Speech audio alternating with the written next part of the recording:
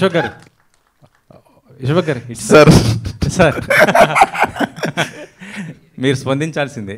స్పందించాల్సిందే. చెప్పండి సార్. నిన్న జరిగిన సంఘటన అది. నేను ఏం లేదు. వీళ్ళ వేదికని నేను నా ఇప్పుడు నా స్పందన కోసం వాడుకోవాలనుకోలేదు కానీ ఒక ఫైవ్ మినిట్స్లో యాక్చువల్లీ నా స్పందన ఏంటని అడుగుతున్నారు అంతే కదా? ఎస్ సార్ సో వచ్చినాం సార్ ఇండస్ట్రీకి. ఏదో ఇప్పుడు మనకి పిలిచి నేను చాలా ఆఫీసులు ఉన్నాయి తిరిగినాయి అవమానపడ్డాయి ఉన్నాయి. సెలెక్ట్ కాని రోజులు ఉన్నాయి ఉత్తి వెయిట్ చేసి ఇంటికి వెళ్ళిపోయిన రోజులు ఉన్నాయి ఇప్పుడు అవన్నీ మాట్లాడరు. ఇప్పుడు ఏంది ఇటు బాగానే ఉన్నాడు కదా అనుకుంటారు. సో మేము మాత్రం అయ్యే ఎక్కువ గుర్తుపెట్టుకుంటాం. ఎందుకంటే ఆ పరిస్థితికి మళ్ళీ వెళ్ళొద్దు అని. సో ఆ సిచ్యువేషన్లోకి వెళ్ళొచ్చే వెళ్ళిపోమాకి అనే సినిమా చేయొచ్చు. పన్నెండు లక్షలు పెట్టే చేసాము. నెక్స్ట్ ఈ నగరానికి ఏమైందని సినిమా చేయొచ్చు. నెక్స్ట్ ఫలక్నామా దాస్ అనే సినిమా చేయొచ్చు హిట్ అనే సినిమా చేయొచ్చు దాని తర్వాత ఇమీడియట్లీ పాగల్ అశోకోణంలో అర్జున కళ్యాణం ఇప్పుడు ఓరి దేవుడా నెక్స్ట్ దమ్కి సో ప్రతి సినిమా నేను ఏదో అని చెప్పి చేసేలేదు. నా పని కాదు అనుకుని అన్ని పనులు నేను చేసుకునే వచ్చాను ఇంత దూరం వరకు. ప్రతి పని నాది కాదు అనుకుని నేను ఎప్పుడు వెనకాడలేదు. అండ్ సినిమా తీసేసిన తర్వాత దాన్ని భుజాల మీద వేసుకొని రోడ్ల మీద పడి తిరిగేయడం. నలభై రోజులు యాభై రోజులు షూటింగ్ చేస్తే ఇరవై రోజులు ముప్పై రోజులు నేను దాన్ని ప్రమోషన్ చేస్తుంటా. సో నాకు తెలిసి నా అంత కమిట్ నేను నా అంత కమిటెడ్ నా అంత ప్రొఫెషనల్ ఎవడు ఉండడు సార్. ఎందుకంటే నేను మూడు సంవత్సరాలు ఫినిష్ చేసిన సంవత్సరంలో ఈ సంవత్సరంలో. అండ్ మూడు సంవత్సరాలు మూడు సినిమాలలో ఒక సినిమా వచ్చేసి నేనే డైరెక్టర్ నేనే ప్రొడ్యూసర్ నేనే హీరో దాంట్లో. సో నాకు తెలిసి నా బాడీ డబుల్ అయితే లేదు ఇక్కడ హైదరాబాద్లో ఒక్కడనే ఉన్నా. సో నేనే చేసుకున్న సినిమాలు. సో నేను స్పందించాలనుకున్న ఫస్ట్ విషయం అదే. I am committed actor I am a very professional actor and uh, నా వల్ల ఏ ప్రొడ్యూసర్ ఇప్పటివరకు బాధపడలేదు నా వల్ల ఏ ప్రొడ్యూసర్ ఇప్పటివరకు రూపాయి పోగొట్టుకోలేదు. అండ్ నేను పనిచేసిన ఏ ప్రొడ్యూసర్ మాట్లాడ అంటే uh, చాలామంది ప్రొడ్యూసర్లు మాట్లాడడానికి భయపడుతుంటారు. కాకపోతే నేను అలా భయపడను. అంటే నేను భయపడి నేను భయపెట్టే అంత చిన్న ప్రొడ్యూసర్లతో నేను ఎప్పుడు పని చేయలేదు. నేను చేసిన చిన్న సినిమాలు ఉండొచ్చు కానీ దాని ప్రొడ్యూసర్లు పెద్దోళ్ళు దిల్రాజ్ గారు కావచ్చు సురేష్ బాబు గారు కావచ్చు పీవీపీ గారు కావచ్చు బీవీఎస్ఎన్ ప్రసాద్ గారు కావచ్చు. సో నాకు తెలిసి నేను పనిచేసిన ప్రో సినిమా సెట్ మీద ఒక లైట్ బాయ్ కూడా నేను కమిటెడ్ కాదు ప్రొఫెషనల్ కాదంటే ఇండస్ట్రీ వదిలేసి వెళ్ళిపోతా సార్ నేను. సో సినిమా చేసే తరుణంలో ఏమవుతుందంటే ఇప్పటి వరకు నేను పనిచేసిన వాళ్ళందరూ ఏంటంటే కొత్త డైరెక్టర్లు ఒక్కొక్కసారి అండ్ ఒకసారి ఆల్రెడీ ఎక్స్పీరియన్స్ డైరెక్టర్స్ ఉంటారు. కాకపోతే ఎవరున్నా కూడా ఒక కలిసి పని చేసుకోవడం అని ఉంటుంది కదా ఆ ఎన్విరాన్మెంట్లో పని చేయడము ఏ ఈ పాట వచ్చింది నేను బాగుందా? ఏ ఇది ఈ- అరే ఇక్కడ ఇది ఉంటే బాగుంటుందా? ఇట్లాంటి గివ్ అండ్ టేక్ ఎన్విరాన్మెంట్లో సినిమాలు చేసినండి ఇప్పుడు దాకా సడన్లీ ఈ సినిమా అవుట్ ఆఫ్ రెస్పెక్ట్ అంటే ఒక అర్జున్ గారిని చిన్నగున్నప్పటి నుండి చూసి అతను సినిమాలు అంటే ఇష్టపడి చాలా రెస్పెక్ట్ చేసి చాలా గౌరవం ఉండి అతను అవకాశం ఇస్తే కంపల్ కంపల్సరీ రీకన్సిడర్ చేయాలి అని చెప్పి థర్డ్ ఫోర్త్ మీటింగ్లో కథ నీ కథ చాలా బాగుంది సార్ అనుకొని మేము కలిసి సినిమా అందరు అన్ని సినిమాలు తీసినట్టే కలిసి సినిమా తీసుకుంటామని అనుకొని దిగాం సినిమాలో. And journey was going very well sir అట్లేం లేదు. కాకపోతే మేము మేం అంటే ఇప్పుడు నేను కానీ మా టీం కానీ కొన్ని ఎక్స్పెక్ట్ చేస్తూ వెయిట్ చేశాం కదా. ఒకసారి స్క్రిప్ట్ వస్తే చదువుకుందాం అనుకుంటాం కదా. నాకు ఫస్ట్ హాఫ్ వచ్చిందే వన్ వీక్ ముందు సార్ సినిమా షూటింగ్కి వెళ్ళే వన్ వీక్ ముందే నాకు ఫస్ట్ హాఫ్ వచ్చింది సార్ సో చదువుకున్నాము. నెక్స్ట్ నేరేషన్ కూడా విన్నాను. కాకపోతే మనము నేను ఇన్వాల్వ్ ఇంటర్ఫియరెన్స్ వేరు సార్ సార్ అన్నారు నేను ఆఫీస్ బాయ్ ఇన్పుట్ కూడా వింటా అని. ఆఫీస్ బాయ్ ఇన్పుట్ కాదు సార్ నేను ఇక్కడ కొంచెం ఇట్లా అంటే ఏమైనా బాగుంటుందేమో అంటే ఆర్గ్యుమెంట్ వేరు సార్. లేదు ఇది ఇలా చేస్తే వర్కౌట్ అవుద్ది అని నాతో డిస్కషన్ పెట్టి నన్ను కన్విన్స్ చేయడం వేరు కన్విక్షన్ వేరు. నువ్వు వదిలి నన్ను నమ్ము నువ్వు వదిలి trust me Raja trust me trust me trust me అంటే నోరు తెరిచేలోపే కట్ చేసేయడం అండ్ పది విషయాల్లో రెండు నాకు వదిలేసి ఎనిమిది మీరు దించుకున్న ఒక ఒక ఒక అండర్స్టాండింగ్లో వెళ్ళిపోయేది కదా. అక్కడ ఏమైపోయిందంటే కట్టిబడి ఇప్పుడు కళ్ళు మూసుకొని కాపురం చేసి అన్నట్టు అయిపోయిన ఉండే నాకు. బట్ అప్పటికి లేదు మన పర్ఫార్మెన్స్ ఏంది కథ ఏంది మనం లాక్కొద్దాం సినిమా అనుకుని ముందు రోజు కూడా చలో చేసేద్దాం. రేపు సినిమా ఇప్పుడు దిగి దూకితే మొత్తం దూకేయాలన్న టైప్లో నేను లుక్ టెస్ట్ మళ్ళీ చేద్దాం ఈవినింగ్ రా అంటే నేను లుక్ మొత్తం సెట్ చేసుకున్నా సార్ నేనే పంపించా will kill it tomorrow sir అన్న. పొద్దున్నే నాలుగింటికి లేచిపోయా.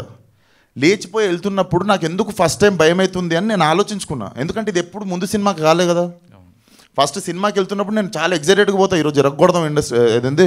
ఈరోజు ఇరగకూడదాము సెట్లో పోయి డైరెక్టర్ని ఇంప్రెస్ చేద్దాము సెట్లు నుండి ఇంప్రెస్ చేద్దాము అసలు అసలు ఏం చేసినవరా అని అందరూ అనుకోవాలని చేస్తాము.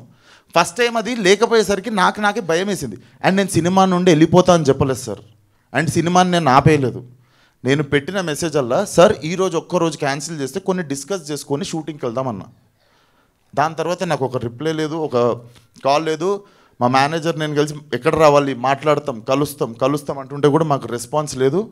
సడన్లీ ఇన్ ఆఫ్టర్నూన్ మాకే వాళ్ళ మేనేజర్ ఉమేష్ అనే పర్సన్ దగ్గర నుండి అకౌంట్ డీటెయిల్స్ వచ్చి ఇంకేంది మాట్లాడేది? డబ్బులు వెనుక పంపించండి అని వచ్చింది సార్.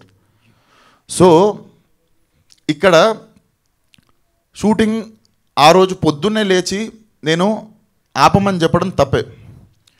నాలుగు రోజులు షూటింగ్లో ముఖం ఎట్లనో పెట్టుకొని సెట్లో అయిన డౌట్లు అడుగుతూ ఆ నాలుగు రోజుల తర్వాత రెండు రోజులు బ్రేక్ తీసుకుందామనడం ఇంకా పెద్ద తప్పు కదా. నేను లేట్గా రియలైజ్ అయ్యా.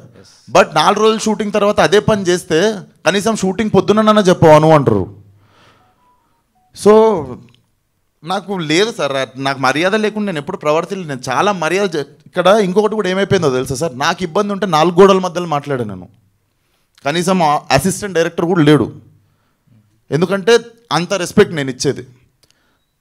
ఆయనకి ఇబ్బంది అయితే ప్రెస్ మీట్ పెట్టి అందరి ముందే చెప్పినాడు నాకు ఆఫీస్కి వెళ్తే నా టీం అందరు బాధపడుతున్నారు అని ఆయన చెప్పాడు సార్. ఇప్పుడు నా వెల్ విషర్స్ నేను ఇంటికి వెళ్తే నా ఫ్యామిలీ వాళ్ళు బాధపడుతున్నారు సార్. మరి నేనే ఎవరికి చెప్పుకోవాలి.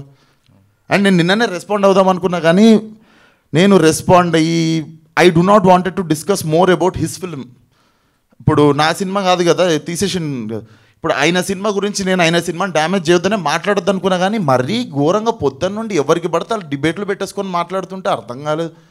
కొంతమంది అయితే నన్ను రోజు పొద్దున్న లేచి నా- నా నా స్కూ నా స్కూల్ ఫీజు కట్టి నన్ను పెంచి నన్ను పెద్ద చేసి నా బిహేవియర్ అంతా తెలిసి మొత్తం నన్ను బ్రేక్ డౌన్ చేసి అసలు మొత్తం సైన్స్ రాకెట్ సైన్స్ మొత్తం తెలిసినట్టు నా గురించి డిబేట్లు పెట్టి విశ్వక్సేన్ బేసిక్ అట్లా కాదండి. వాడు పొద్దున్న ఇచ్చేస్తాడు సాయంత్రం ఇచ్చేస్తాడు నీ ఎప్పటికీ తెలుసు మీకు నేను ఎట్లా చే- ఎప్పుడు చేస్తాను. నేను సినిమా చేసుకుంటా నా బయట బయట ఎట్లుంటా ఏం చేస్తా అన్నో తెలిస్తే చూస్తున్నారు కదా సినిమా తర్వాత సినిమా చేసుకుంటున్నా. నా సినిమా సినిమాలు ఏమైనా తప్పు చేస్తే మాట్లాడండి. సెట్ మీద నేను ఏమైనా తప్పు చేసినా అంటే ఇప్పుడే నేను వెళ్ళిపోతా ఇండస్ట్రీ నుండి. నేను సెట్ మీద డిస్కషన్ రావద్దని ఒక్కరోజు షూటింగ్ అయితే కొన్ని మాట్లాడుకొని వెళ్దామన్న. అంతే సార్. నేను ఇన్సల్ట్ చేసిన అన్న విషయం నాకే తెలీదు.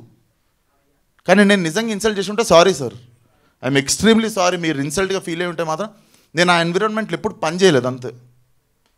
దట్స్ ఇట్ సో అంటే ఇప్పుడు ఈ ప్రాజెక్ట్ నుంచి మీరు బయటకు వచ్చేసినట్టేనా సార్ మరి ఇప్పుడు దీని కంక్లూజన్ యాక్చువల్ మాక్సిమం అందరికి తెలుసు అనుకుంటా కదా సార్ అదే అదే. అంటే but I. I due to respect due to so much respect on him I wish all the best to the project and ఆ సినిమా బాగుండాలి సార్ బాగుండాలి అన్నీ బాగుండాలి సార్ అంతా.